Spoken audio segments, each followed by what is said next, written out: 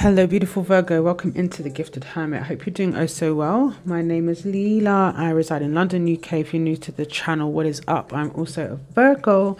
And if you'd like to, in the comment section, let me know a bit about yourself, where you're from. I'm always intrigued to know where my viewers are from. So I'm going to do an inventory spread. I already picked out past and present energy. I'm going to do future energy with you. I've also got some oracle messages. Um, hope you're doing all right, Virgs let's jump into this. Please remember to give me a thumbs up if you find that it resonates with you in any way. You're not obliged to do so, but it really does help us readers. You can also book me for a personal, catch me for live tarot, follow me on the socials, all of that jazz, okay? So, past energy, ooh la la. We've got the Seven of Swords. Maybe you were recently I mean, it could have been yesterday, it could have been last year, okay? Take it as it resonates, but it's past energy. Seven of Swords is you know, someone deceiving you, or you could have done the deceiving, take it as it resonates. Um, somebody that. Uh, hmm. You see, the Seven of Swords talks about lying to yourself or, uh, uh, or, or, secrets. It can talk about betrayal. Um, someone that's being very strategic in what they do. Because if you see here, he's come to visit somebody in the picture, right? And she's got her hands crossed, like, where have you been? And he's hiding something, whether it's a present. So sometimes not everything's always as bad as it seems, but we also got the Seven of Cups and the Ten of Cups in reverse. So what we got here is not only deceit or some sort of betrayal or something a bit secretive or whatever, we also got confusion okay? And the ten of cups in reverse is disputes and miscommunications.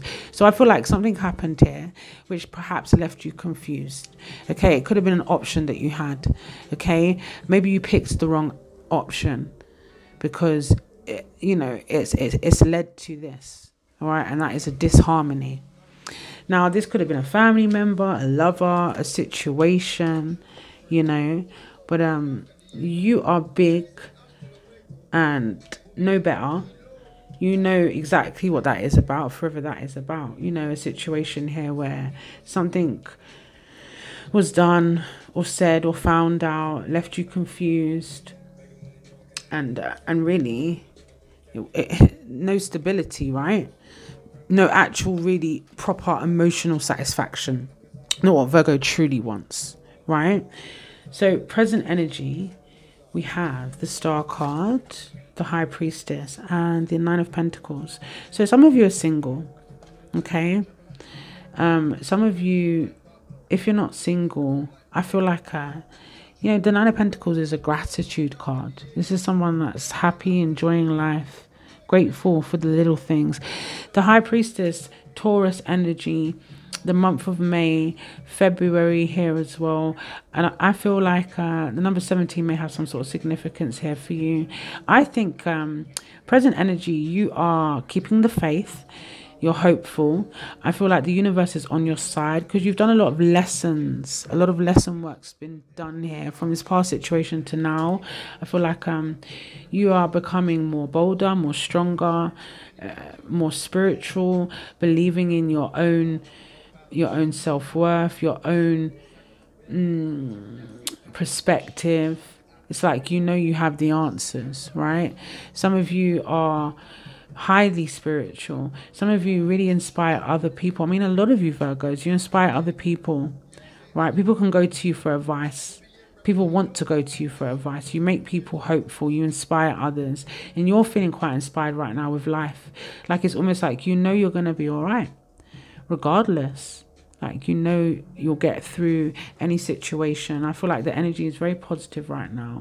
So, yeah, we have Aquarius energy here, Taurus energy. But I feel this gratitude, this positive, uh, uplifting energy, you know, where um, a lot of lessons have been learned for Virgos, or you're learning a lot about yourself, about what it is that you want. And I think ultimately, the energy, the vibe is positive. Like, regardless, you know, a lot of you actively know you don't want to get into a mind space where you are not hopeful and you lose the faith and you want to give up because in times we it happens, right? You don't want to do nothing and you want to give up and you're like, oh, what's the point? But I feel like a lot of you really pushing on, like, regardless of any outcome. Okay? That's what I see. Two more for future energy for Virgo, please. One more card for future energy. See, I love it. I'm here for it. The Wheel of Fortune. Good karma.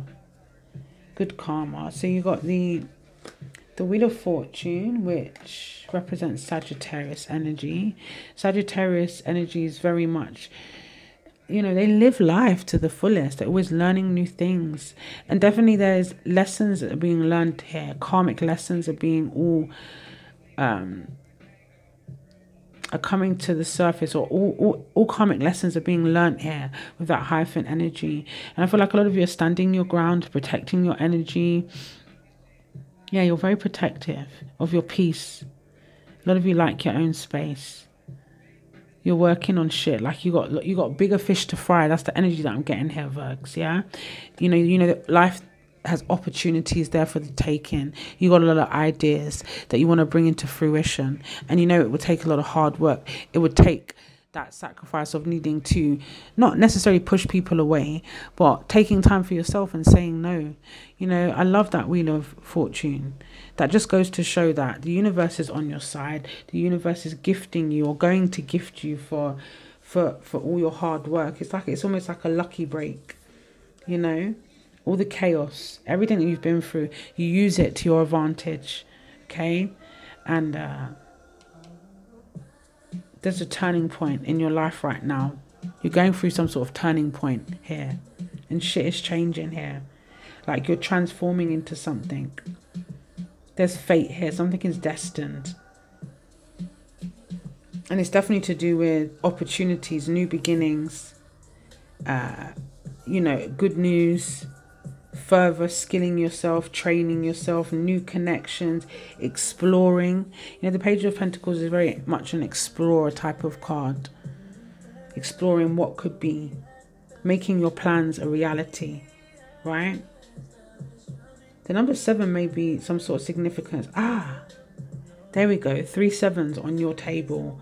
Um, go and check out the number 777, the angel number, because it's actually been the number for me the last few days definitely.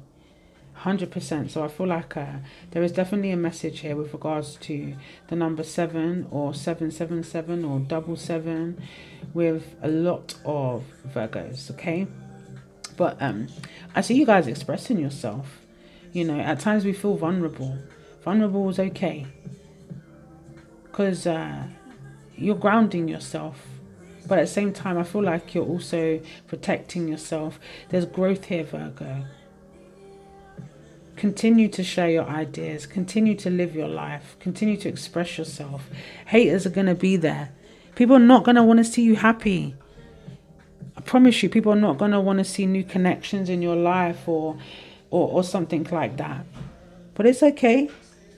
Their opinion is not valid and and that's it really. So um you got let's get to these oracle oh no no we have to go to the no we've done the future energy. So let's talk about your oracle messages. So you got mural and it talks about be your own first priority okay? This is about not forgetting yourself and not forgetting who you are because we're always fast to put other people first and forget ourselves and then wonder why we're feeling a bit heavy or drained and stuff like that. Whatever you're currently gra uh, grappling with you must put yourself first virgo when you're on an aeroplane, they always tell you to put on your own oxygen mask before you try to help your neighbor with theirs. That is to say, if you don't make sure your own energy bar is full, then you'll have no energy to give someone else. Be brave enough to admit when you need to take a step back from the demands of others and work on making sure you're okay. You're okay. So, whatever that is cleaning, painting, taking that me time out whatever it is for you. So, be honest with yourself. Look into your heart, and you will know the truth of this situation. It's safe to admit the truth to yourself, for we will support and guide you through any necessary changes. Lean upon us for courage and the strength to take good care of yourself. Focus only upon your true desires, and they'll come to you upon angels' wings. Wedding. Marriage is the union of two souls joined in love, mutual respect, and commitment. It signifies a desire to deepen love over time. Your wedding day is a testament to your well found faith in love's power. Continually breathe life into that faith and love, dearest one. You got um, Brown I think it's called Argate. Have you been spending time in nature? How does your garden grow? Whether you live in a small city, apartment, or an expansive farm, you can always find a way to establish your roots in earth and nature. Use the negative ions of the mountain, sea, or air for your overall well being. You've got an affirmation side. I'm a caretaker of the earth. I spend time in nature. My connection with fairies is strong, and I'm a good gardener. It's easy to open myself up to allow the light in. I unlock the secrets of my soul. You got ask your angels, ask your angels to lift your load, ask your angels for visions, um, ask them to talk to you through music, show you signs that you're on the right path. If you're needing a little bit of comfort, needing some advice, call out on them. They'll send you messages. Trust. Trust in, in, in the motion, trust in the divine, trust that you're the process, trust in the process, trust that everything's all right. Okay? Trust in the magic of life. You also got the 10 of Wands, too much work, accept help from others, life is out of balance, stress related health concerns. And I definitely think that's more, you guys need to put yourself first. Life is going to be a struggle at times. Life is going to feel a bit like a battle. But um, all is well. And, and don't forget to talk to people, ask for help. You got a lot of responsibilities. News of an exciting new endeavor. Use your originality and ingenuity okay? Because you are a genuine person. You are an original. There is no everything else is a copy. It's a clone. This is nice. This is exciting. Like there's some good news coming your way that's what we get. So that's what i have for you virgo. Make sure you go and check out the love reading that i'm about to do. Friggin love you guys as always. It's a pleasure. Be kind to others but most importantly be kind to you and i'll catch you on the rebound my darlings. Mwah.